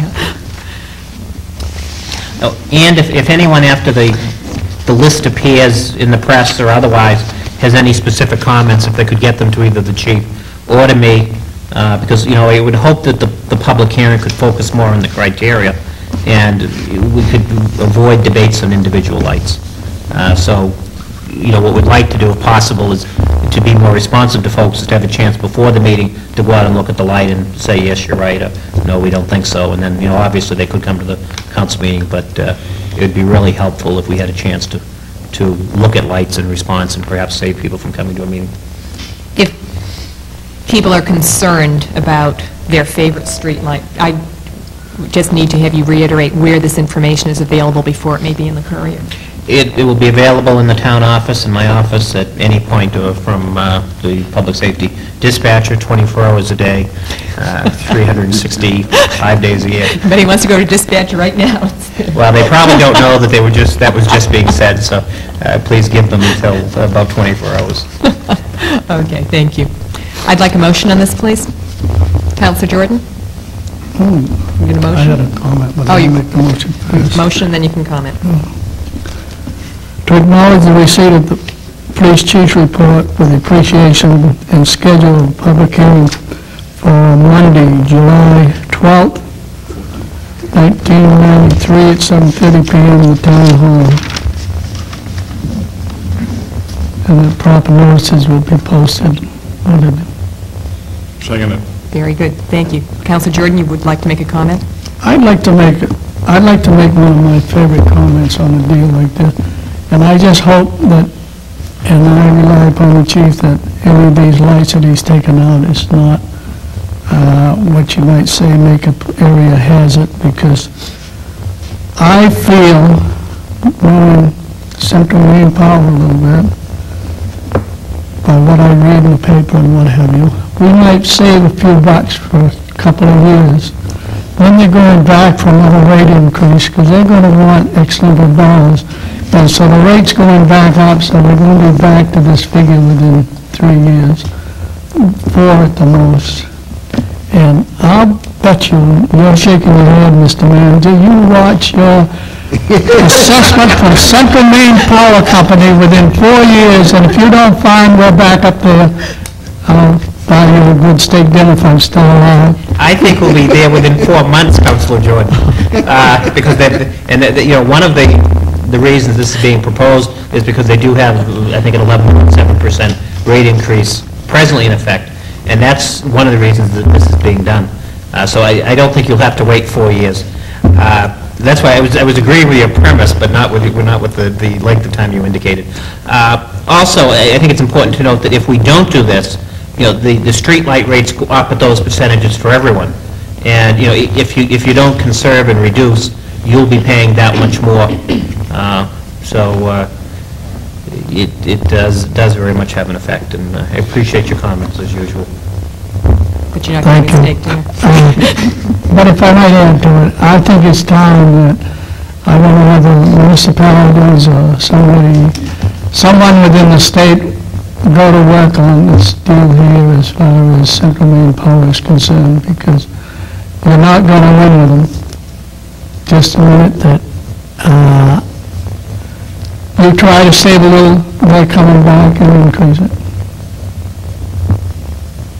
If anybody wants to start, I'm game to help. Thank you, Counselor. Any further comments? Counselor Crailman? Well, I I certainly would agree with Counselor Jordan on this issue. I mean, it does appear the more you try to conserve water, for example, you know, the higher the rates go to pay the fixed costs that the uh, particular facility has to meet. Um, I- The only other thing that I'm just a little concerned about, despite the uh, the manager's suggestion that uh, criteria, you know, ought to be applied to uh, an individual location, certainly I could foresee uh, an extremely lengthy, um, you know, public hearing on this particular issue if there were a variety of people coming to, uh, you know, make a particular plea to save the one or many of the 68 proposed removals. So we just might want to be thinking about uh, two public hearings anyway before we're done with the whole process, and if it really turns into uh, going one at a time and a great many people, we we might want to just do half, uh, first time, half second time. I'm just suggesting that because I could foresee this as a potentially very, very lengthy, all-night-long type of event.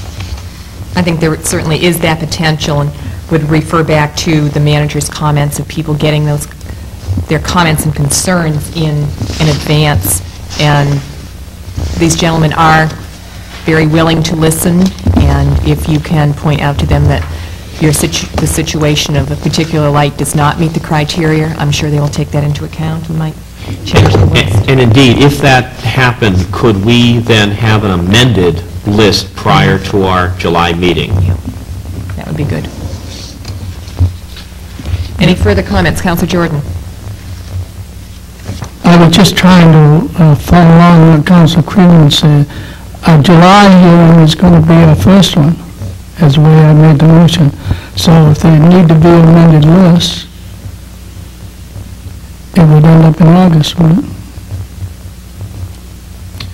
If you set something to public hearing, you can reduce what is advertised. You cannot add to it. I would say an amended list, if you're taking lights off, would be a reduced list. Does that jive with your interpretations, Ms. Lane? You can, you can negate or reduce the impact. Without re-notifying it's a public hearing. So if somebody comes in here and really, you see that they should keep their light, It does then you not... got to go back again with another public hearing, right? No. Oh, yes. No, Oh, yes. not to- You wait. not to take it off. Now, the, the intent of all this is not for the council to vote on every light.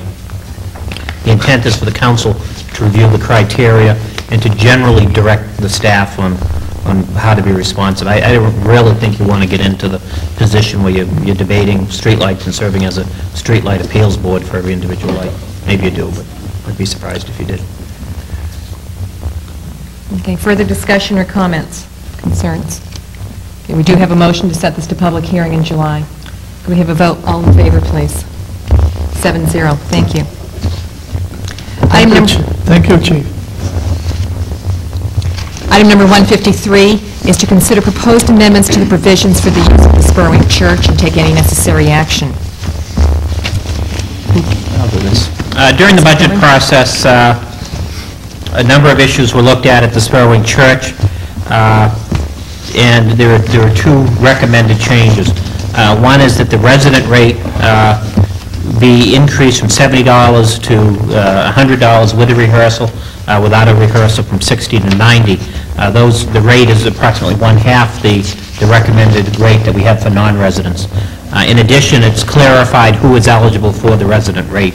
That's as a result of the discussion uh, at a previous meeting.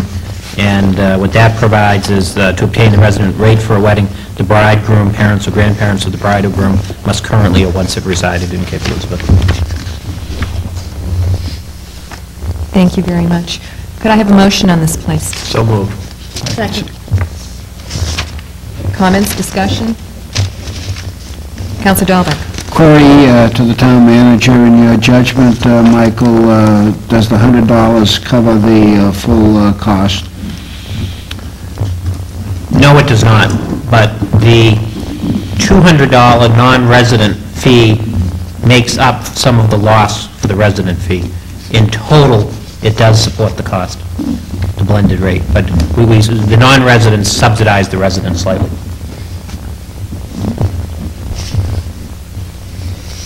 Thank you.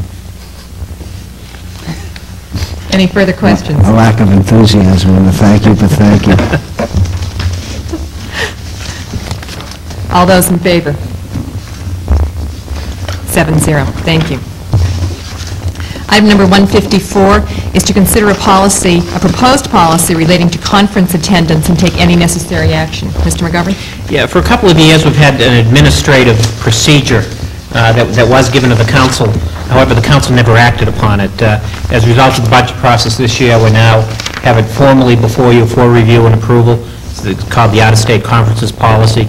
It provides uh, where it shall be included in the budget, uh, that we shall take all steps to reduce the cost wherever possible, including uh, trying to get uh, super saver airfares, registration fees paid in advance, uh, when we pay lodging, when we don't, uh, if someone drives to the conference, what we pay for mileage, uh, meal costs, we we do not have a per diem, but we do review uh, those particular costs. Uh, We don't pay for room service, in-room movies, use of in-room refrigerators, uh, et cetera, et cetera. Uh, And it it does provide that generally department heads uh, would attend an out-of-New England conference at municipal expense every other year. However, that is subject to budget delim- limitations, and it would be at the discretion of the town manager. That's the recommended policy in brief. Thank you for being brief, and thank you for developing the policy for us to review. Can we have a motion, please? I would move acceptance of the policy. Second. Thank you. Do we have any comments? All those in favor? Seven zero. Item number 155 is to consider approving the placement of a recycling unit at the rear of the town hall and take any necessary action. Yes, uh, Madam Chairman, we have a uh, a very eager and very devoted recycling committee. Uh, They do, as has been indicated earlier in the evening, they're doing a tremendous job in in promoting recycling and uh, uh, helping to save the town uh, funds in in the long run. A couple of years ago, they approached the council about putting a recycling bin over in the IGA parking lot. Uh, It never worked out. Uh, The council had set aside some funds for a pad at that point, and it's not, no longer necessary to do that since it was unable to do it there. Uh, Subsequently, they looked at a number of other sites in in the community, in the town center area and settled on the very rear corner of the town office. Uh, They had hoped to uh, have that placed uh, this past Wednesday, May 5th. Uh, When I found out about it in the Courier, I reminded them that, uh, that it should first come to the council. So uh, we have delayed the recycling bin. Uh, Should the council approve it, it- it would go in place now scheduled for this Wednesday. But, you know, I- I'm sorry that the publicity about this got out prior to the the council being informed about it, but uh, I think it's indicative of the the dedication and the the interest that we have amongst uh, board and commission and committee members. Very good. Can we have a motion, Counselor Cottrell? I would, I would just like to know where it's going to be, and if we felt it was necessary to have a pad at the IGA, why do we not feel it's necessary now? The the reason, it's going way in the back corner, back here, Next to the, rear right corner. And it will shuffle back and forth a little bit. When they drop off one, they'll put it, they'll, uh, but that's all... It'll be just off the pavement. That's grass surface there. yeah, Is that going to support the weight of that yes, it the will, spring? yeah. In mud season? It's, it's very granular soil back there.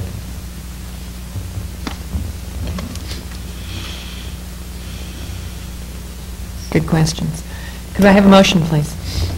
Counselor Jordan? To follow up on Council Cogswell's question about the pad, you don't need to have any type of a pad there for that? That's what they tell us at this point. Uh, uh, We'll watch it. Why, what was the problem with the IGA to make that so large a place for people there? Well, initially, the problem was, is- is it was in receivership. Uh, It was owned by Recoll, and they didn't want to do much of anything with it while they had it. Uh, Now it's been uh, privately owned again, and they're concerned uh, with the amount of space it would take, uh, general cleanliness. Well, the one over the transfer station, to me, is cleaned up around very well, and what have you. I don't see no problem with it, maybe they don't, but that's beside the point, but I still think that you're gonna need a pad for it. You might not do this summer months, but when the frost comes out of the ground in the spring, I think you're gonna find a problem. We'll watch it. Could we have a motion, please? Oh, I didn't see that come up. Counselor Jordan? Catches Do you want to make a motion? What number are we on? We're on number 155. 155. I will move that we approve the placement of a recycling unit at the rear of the town hall and uh, take any necessary action to uh, accomplish that. I'll second the motion. Very good. Any further comments? Counselor Cogswell? Yes, I um, have a copy of the minutes from the recycling committee where they noted that it would be a good idea to have someone check the bin every night to make sure the sliding doors are closed, to keep out the rain and maybe keep out little creatures. Um, Who's going to be responsible for that? Just be the manager. So we don't have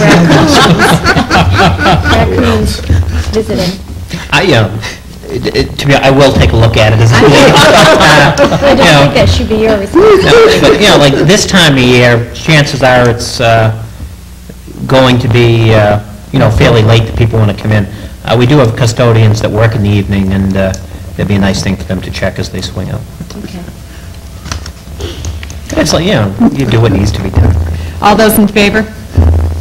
Thank you, seven zero.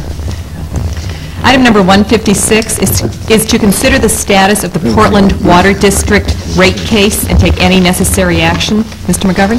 Yes, a while ago, you told me not to come back for an assessment for Phase 3. Uh, uh, So, no. Uh, Nonetheless, uh, our experience in the previous two phases of this rate case have been ex- extremely successful in terms of the general direction that it's gone, and in terms of the dollar amounts we've been able to save.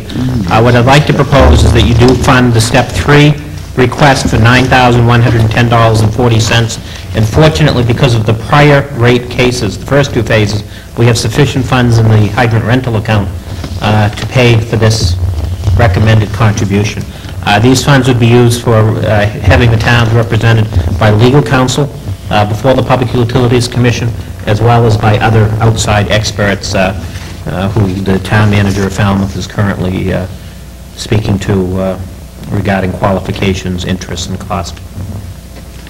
I think we need to also make mention that this is in dealing with the differential between the town and the city water rates. That's basically what this is about.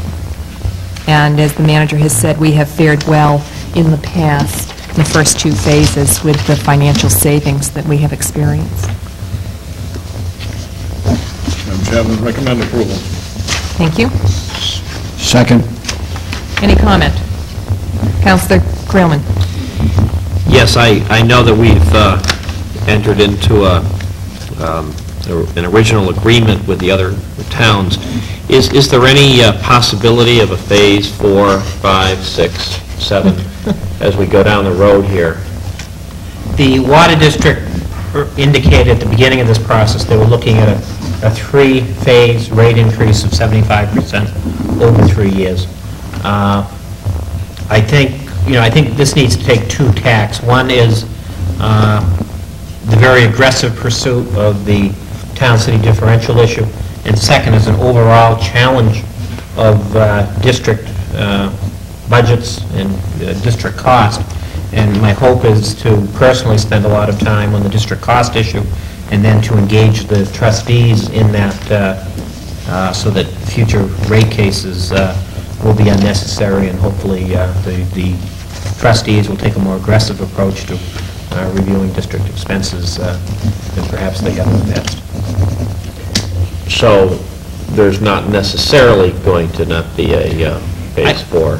I, I can't speak for the Portland Water District to know what they're going to do, but, you know, I, if, if there is one, it- it's, it'll be a phase one again. And, you know, from what my reading of it is, it'll be several years off. And, you know, hopefully, through this rate case, we can, for the most part, settle the city-town rate differential issue. I I don't mean to be... Well, I'm, no, I'm happy to hear that. It just seems a pity that the, you know, the savings that we are appreciating, you know, are all being eaten up in attorney fees at this point, to some extent, to some extent. And I just hope that there will be a limit and that we can bring this process to a completion and everyone will recognize the fairness issue. That's all I have to say. Thank you. Counsel Cogswell? Does Mr. McGovern have any sense as to the, um, the leanings for the other commu- uh, communities that are involved in this? So Are far, this- they've been all supportive. And in this next phase as well? Do we want to condition our motion as we have before, provided, Majority of the communities. right, so that we're just not finding there aren't sufficient funds to have a good case? Would you like to make an amendment to that, proposed amendment to that? Okay. Unless the original would like to amend his motion. Counselor Chappell, I believe was your motion. Sure, go ahead. Would you like to give us the language of the- an amendment? um, to, requ- uh, that we approve the $9,110.45, 40 cents to be allocated from the hydrant rental account um, in the rate case, provided majority of the previous participants join in the second, in this third phase. Okay, could we have a second on that amendment, please? Second. Very good. Further discussion? Vote on the amendment, please. All those in favor? Seven zero. Vote on the original motion. All those in favor? Seven zero. We'll clean. Now we're squeaky clean with Robert's rules. Thank you. Item number 157 is to consider a proposed ordinance regarding the expansion of non-conforming residential and non-residential structures located within the Resource Protection 1 Critical Wetland Zone and applicable wetland buffers, and take any necessary action. Mr. McGovern? Yes, uh, this item is is on the agenda as a result of a recent decision by the Board of Zoning Appeals uh, involving a request to expand a residential structure and a non-residential structure uh, within Cape Elizabeth. Uh, The zoning board, in- in ruling uh, on that particular case, uh, took a position that that was surprising. What, because of that, and because of concern that perhaps it was not following a direction that might have been intended, I felt it would be wise for the town council uh, to meet with the town attorney uh, and to review uh, the ordinance itself. Uh, Tom Leahy, or uh, Thomas G. Leahy, uh, excuse me, the informality, uh, our town attorney is here this evening, uh, and I would like to propose or suggest uh, that the the town council consider entering into executive session uh, to receive advice uh, from the town attorney uh, on possible legal matters. Very good. We are scheduled to enter into executive session after a couple of more items. Perhaps we can consider one executive session after we do those two items, if that appeals to the rest of the council. We would need to come out of executive session and make, and vote on this particular item. Yes, we would. I would like a motion to postpone action on this until after executive session. Second motion. Are you proposing one or two executive sessions? One executive session, we will, before we go into session, we will list what we are going to be discussing. Okay. There is a motion to postpone action on item 157 until after an executive session. All those in favor? Seven zero. Thank you. Item 158 is to consider approving the warrant for the June 8, 1993 Portland Water District trustee election and take any necessary action. Ms. Lane, do you have that? There will be another election on Tuesday, June 8th, at the Cape Elizabeth High School from 7 a.m. to 8 p.m. This is for a trustee of the Portland Water District. Uh, The trustee would represent the towns of Cape Elizabeth, Gorham, and Scarborough for a five-year term. Uh, Anyone that needs to register to vote can do that here at Town Hall, and I would encourage the council to sign up. Will that election be held at the high school? Yes. As usual? I'd move approval of the warrant for June 8th. I second it. I want to know why it says that we are warning the inhabitants that there will be an election. Is that, Someone's been done that, I think. okay? I wonder if the Water District has a reason for that. They've heard about it, It's planned. Any further comment? Counselor Cogswell? Just a brief comment um, on the fact that I asked the town clerk why we are electing our representative uh, on June 8th, which is another election, another expense for the town, when the city of Portland elected theirs during their recent municipal election. I believe she said it has to be changed by the state legislature. Right, it's in the charter Portland Water District. In 1988, when a trustee was added, that was an even year that all municipalities involved had a primary. It just so happens that five years later, it falls on an uneven year, if you will, without a primary. And actually, none of the municipalities have a municipal election uh, on June 8th. This would be the only one we expect a low voter turnout. I have recommended to past and current members of the trustee, of the Portland Water District trustees, that they may consider advocating for a November election. We always have a November election. Uh, Whether or not they will do that, I'm not sure. A couple of trustees have indicated they felt that that was a good idea. Um, So it had to be changed in the the district's charter. Thank you. Any other questions? All those in favor of the motion? Seven zero. Thank you. Item number 159 is to consider approving the opening of an account at Fleet Bank for the high school scholarship funds and take any necessary action. Mr. McGovern? Yeah, this is, uh, whenever we open an account, it needs to come to the council. Uh, This is a result of last year's management letter, or letter of reportable conditions, uh, whereby we set up the uh, high school scholarship funds and and accounts uh, managed out of the town office, and uh, this would uh, uh, bring that about finally. Very good. It has been reviewed by the Investment Advisory Committee. Thank you. Could we have a motion on this, please? So moved. Second. Any discussion? All those in favor? Seven zero. Item number 160 is to consider going into executive session. This would be to discuss land acquisition and/or disposal issues, and we would add to that, what? Item number 157, This- uh, to receive advice from the town. to ad- receive advice from the town attorney regarding a proposed emergency ordinance. So moved. Second. Wait a minute. To receive advice from the town attorney on a pen, on a possible pending legal matter. legal matter. I understood it. I still so moved. I'll still second it. Thank you. All those in favor? Seven zero. We'll go into executive session. No votes will be taken. There- If possible, votes will be made after we come out of executive session. Thank you. Under state law, there's only certain reasons. That's- why I wanted to executive session. Do it right. We've got it stated as not one of So we got it right. Yes, but there are some communities it matters. them.